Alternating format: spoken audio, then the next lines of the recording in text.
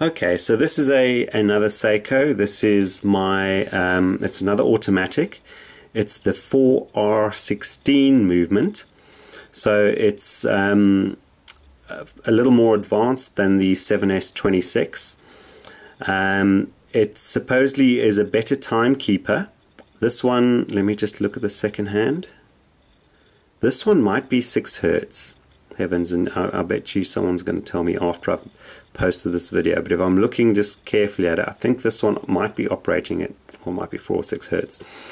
But yeah, the these are also non these are non-hacking, non-hacking whereby where you if, when you set it, when you pull it out, the second hand doesn't stop.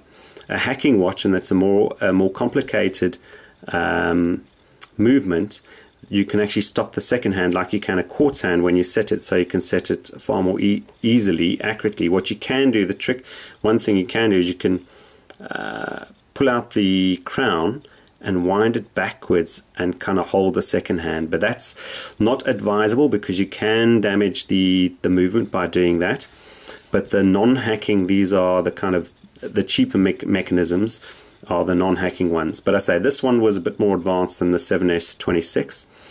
Um, the 4R, the there's another version of this 4R where you get the I think a day display as well. The reason I went for this one, as I noted initially, was um, I was keen to have a, an updated mechanism movement, and but it was also fairly unique in that it had the numerals for a Seiko divers to have the 12, 3, 6, and 9 on the watch face.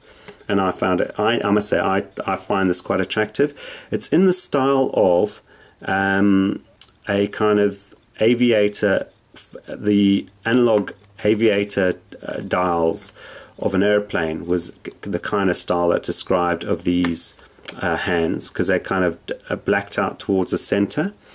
Um, and just that style I think you'll find is what people kind of des describe as a kind of aviator style. I'll take you in a little bit closer on this one. The accuracy of this one is I think a little bit better than the 7S26 but again it can be pot luck um, on the movement.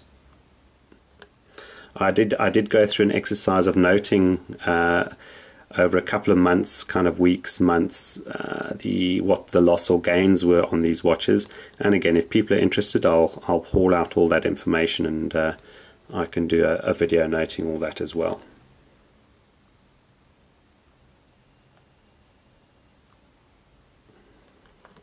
There you go.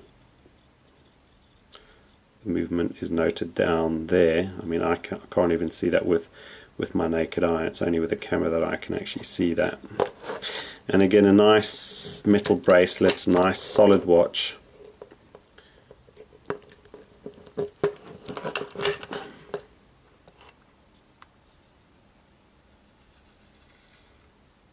And we'll go on to the next one.